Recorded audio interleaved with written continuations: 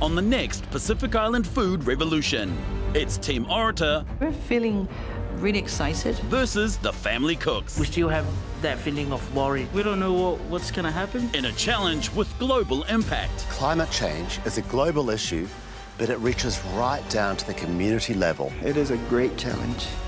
Climate change is very much everyone's business. The winners will represent Samoa and Pacific Island food revolution.